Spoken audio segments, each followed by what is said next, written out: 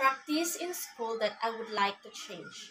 Many teachers, in my judgment, begin by teaching the lessons and then proceed to assign a large number of homework afterward. This is terrible. Many schools are having debates on this matter, but there are still other institutions that are not taking into consideration. As a result, a small amount of homework should be available. This that I would like to practice in school is the cleanliness. A school is a place where children may learn and socialize while also are developing skills that will benefit them later in life. The importance of cleanliness at school cannot be overstated when it comes to ensuring a safe environment at school.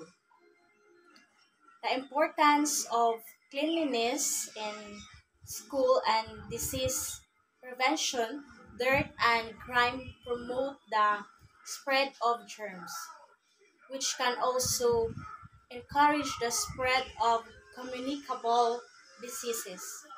A clean school is crucial to ensure that children and teachers don't get sick. What are the beliefs or assumptions on which this practice is based? So for me is the washing of hands is the most important personal hygiene practice.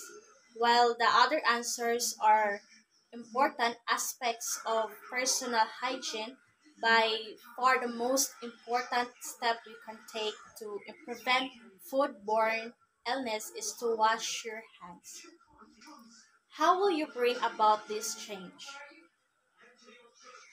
Working in a clean environment is a source of satisfaction. It inspires us to take more decisive steps toward bettering our lives.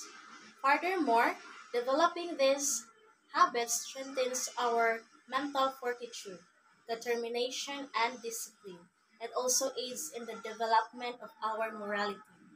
Because I have these sayings cleanliness is next to godliness. And that's all for